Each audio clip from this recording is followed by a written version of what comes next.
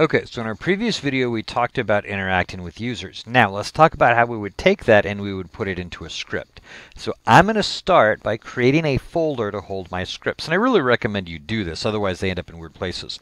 So I'm going to do set, look, I'm going to get onto the right screen first. To change my location, it's set location. You can also use cd, which is a uh, alias for set location. But I'm just going to set location to C colon backslash. And from here, I'm going to create a new folder. So it's new item.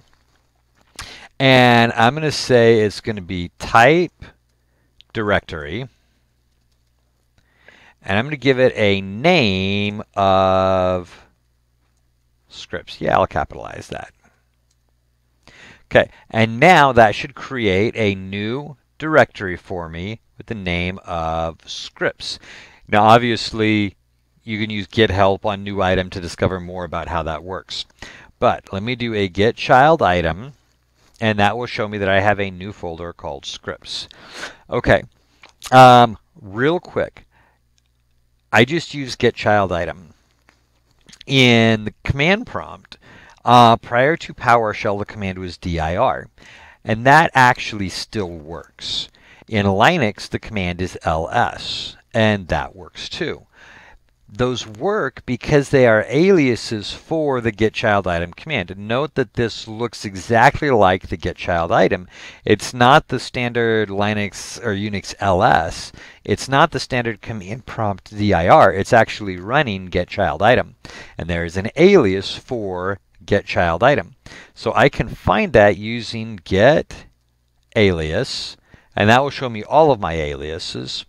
Or I can use get alias and show me the definition of get child item. So this is which aliases will alias to get child item. And there are three of them, dir, ls, and gci. Now the other thing I can do is I can do a um, get alias. And let's say I want to find the specific alias, dir, and it will tell me the alias name dir is uh, resolves to get child item. By the way, you can create your own aliases using the command new alias. Um, we're not going to go into that at the moment, but you can do it just so you know. So I want to set location again. So I use the set location C colon backslash to move back to this location, uh, to the root of C drive. Is there an alias for get child or set location? So I'm going to do get alias definition set location.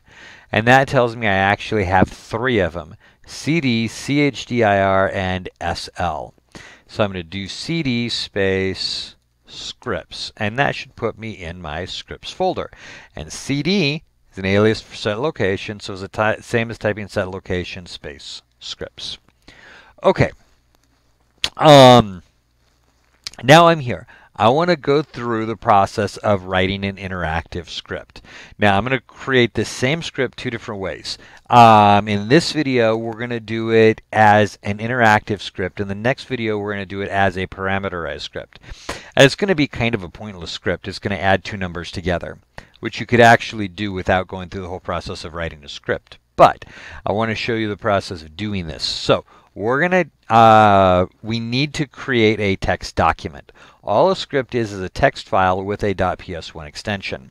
So from my scripts location, I'm going to issue the command notepad, and we're going to do add, that we're going to, and let me make it official, add dash num int. So add number interactively. Oops, I didn't want to do that. Cancel, don't do that dot ps1. There we go. That'll make it a script file. All right. Notepad can't find it. Do you want to create a new file? Yes, I want to create a new file. All right, so now what I'm going to do is I'm just going to put my commands in here one at a time. And I'm going to put my commands in in sequence and it will execute them in sequence. So I'm going to do write host, and I won't make it look official this time, write host this script will add two numbers together. Now, I want to write host, and I just want to give a blank line. So I think if I do a write host and just hit enter, that'll do that for me. But I can kind of come out here and prove that this is going to work by issuing the command write host, and it looks like it's going to give me a blank line. It actually will, by the way. That'll work just fine. So this script will add two numbers together, then I'll give it a blank line. Then I'm going to prompt the user. So I want read host, enter the first number. But remember, if I just read host, it won't actually store that number anywhere. So I'm going to come back here and I'm going to put a dollar sign num1 equals. Now, I want to see if that's actually going to work. So I can select it and let's see if it'll let us copy and paste it out here. And I can verify that my line's going to work. There you go. So I can, or same thing, I can take a line here and try to copy and paste it back in here. But it's a little easier for me to work this way. So let's do that same thing again. Dollar sign num2 equals read host. Enter the second number. And then I am going to put those two together. So I'm going to do dollar sign SOL for solution equals dollar sign num1 plus dollar sign num2. And then write host, I want to give it a blank line. See if I can type. And then write host the answer is dollar sign SOL. Period. Period.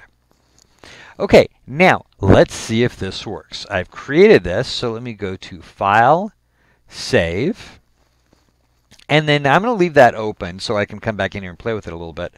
But I need to make sure that I save it first because it doesn't auto-save. So from here, I can do the get child item.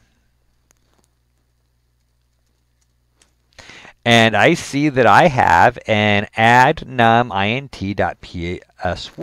So I can try to run that. Now there's actually going to be an issue here. So if I do add num int.ps1, it's going to say I can't do that. The term add num.ps1 is not recognized the name as a commandlet function or script file. Suggestion. The command was not found, but in the current location, there is a file by that name. Now, I'll skip the rest of it. What it's telling you is, as a security function, you can't just type the name of the PowerShell script and run it. Now, if it's in a designated script location, you're okay. But if it's not and you're just trying to run it from here, then you need to specify the location. So what we do is period backslash add dash num int dot ps1. And now it executes. This script will add two numbers together. What's the first number? 3. Enter the second number, 6. The answer is 36. Okay, that didn't work according to plan. 3 plus 6 should be 9, not 36. What the heck? All right, here's what's happening. This is something you got to be aware of. PowerShell will frequently try to determine when you enter a value, it will frequently determine that that is a text, not a number. So what it does, does is it has, has text 3, text 6, add them together concatenate them makes 3, 6. So what we do is we need to define these as integers. So I'm going to put square bracket int. And you'll discover this in the help topic about variables. Square bracket int. And that should define both of those as integers now. So when we put in a value, it should treat it as a number. Remember, this doesn't take effect until I save it. File, save. Let me run my script again. 3, 6, the answer is 9. All right, at this point, our script is working. We have a relatively pointless but fully functional interactive script. So back to Notepad and I'm going to close it out. Okay, so the next step, and we're going to tackle this in the next video, is doing the same script but doing it as a parameterized script rather than an interactive script.